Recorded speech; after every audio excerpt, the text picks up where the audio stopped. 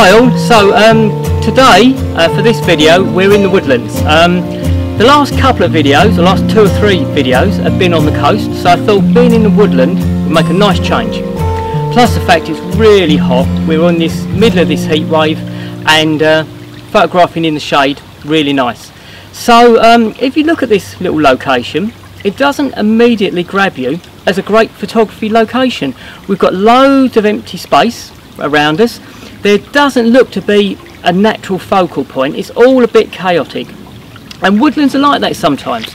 Um, it's not like shooting a, a, big mountain vista where you've got mountains looming above you or a seascape where the cliffs are rushing off into the distance with all the water crashing around. So woodlands are a lot more subtle and if you look behind me initially it doesn't look great um, it's not like it's uh, autumn time when we've got a, a lovely colourful carpet of uh, leaves on the floor adding to this picture. So it means we've got to work a lot harder to get a really nice picture. And that's great for this uh, vlog because I want to talk more about composition and how to get the most out of a location, especially when um, at first glance it doesn't look that great. So if you look behind me, yes there's lots of empty space, there's not a major focal point but what we have got is a little stream running through the landscape. So that little stream can act as a focal point and it can lead us through the picture. So we're going to look on this vlog about how to make the most out of this location and to really come up with a picture that goes bang and it looks great and you go wow this looks nice from this location. Even though initially you go yeah not really exciting so we're going to look at different compositional tools we can use to make this picture work. And to start with the first thing we're going to do is to get close to our stream because we've already identified that as being the main focus of our attention. That's the thing that's going to make this picture look good because we've got a little bit of water running through and we get reflections on the water and it adds as a leading line and it can lead us through the picture. So my first uh, thing is to um, get closer to my subject and then we'll talk a little bit more about what we can do to make that subject leap out and of course at the end of this video I'll be putting two or three pictures on that, uh, that I'm going to shoot here. I've already shot one, I've got wet boots, I've been in the water uh, but that's no problem. I think you've got to get in and suffer for your art sometimes. So um, I'm going to move closer and we'll move this video on and talk about composition. Okay.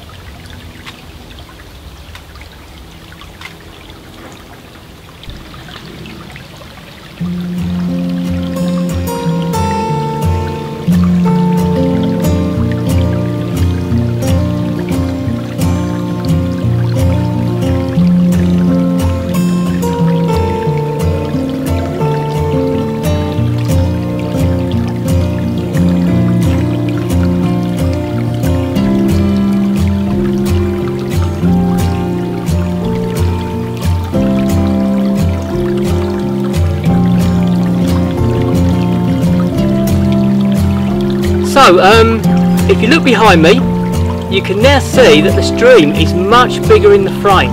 So it becomes a focal point for this picture. And the stream leads us through the picture. And then we've got, if you look in the background, we've got a tree in the background. So that adds as a, um, a focal point in the background. So we've made much more the stream. That looks much bigger and more dynamic. because we're closer to it and it leads us through the landscape and we've got a natural stopping point at the back with that tree which is set off to one side. So the key thing for this composition really is getting close to our subject and by getting close we're exaggerating its size and we make it look bigger than it is in reality. So this creates a really nice leading line through our picture. Um, now generally when you're shooting moving, when you're photographing moving water, you want it to be cloudy so the light's really soft and the contrast is low. But if you look, most of the stream is in shade anyway, so the fact that it's sunny isn't a big problem. And funny enough, what it does also is, as the sunlight comes through the trees, it makes the light go a little bit green. And that green is being picked up by the water, and it looks really vibrant. So in actual fact, the fact that this um, water, I'm shooting it when it's sunny, is a good thing. I think it works for this picture.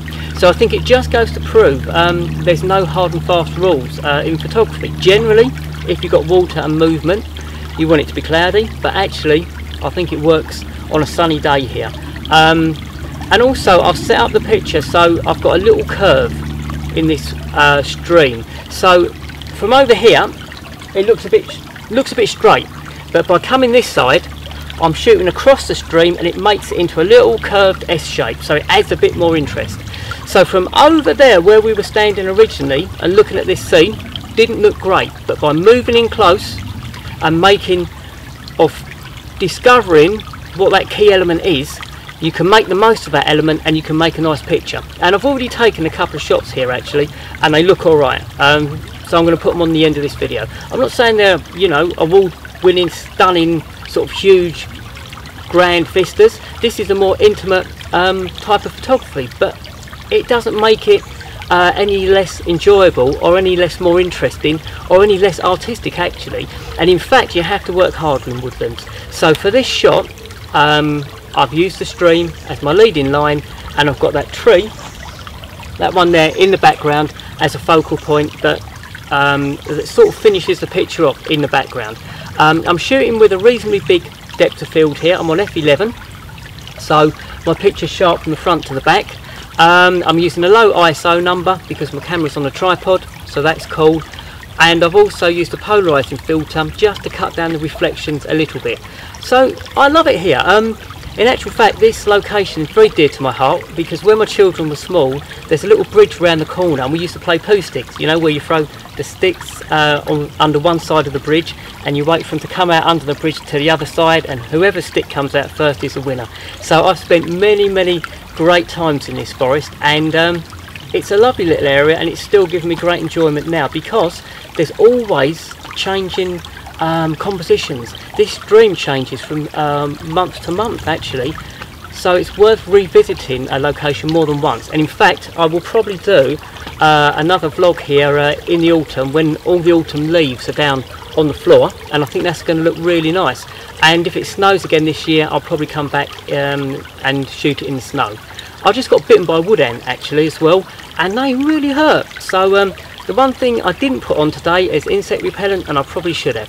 So uh, I'm going to um, take a few more pictures now, play around with the compositions, but I think um, I've got the shot in the bag already and um, it's certainly somewhere I'm going to revisit uh, later on in the year because it's close to home and uh, that's that's nice for me and I, I don't think you should discount um, local locations because they generally it's you can visit them in all sorts of weather conditions you've got lots of opportunity to shoot these things. Uh, different times of the year, different weather conditions. I haven't shot this here in the fog yet, so I'd like to do that. So there's lots of variety. I love travelling, but with a local location, you get the chance to shoot it lots of times and to really learn about that location. And I think if nothing else about this video comes through, I think it's about looking at the location and taking your time and looking for those key elements that you think are really going to work well. So I think that's it for now. I'm going to carry on taking photographs and um, I'm going to put some on the end of this uh, video. Thanks for listening. Um, if you like this video, uh, please um, give it a like and subscribe to my channel and if you do want to subscribe to my channel if you can also press the um, little bell icon because that will then uh, notify you when I've got uh, an, uh, a new video coming up so Um, I hope you've enjoyed it. I'm enjoying shooting here and uh, I'll see you on the next video. Thanks very much for watching and listening.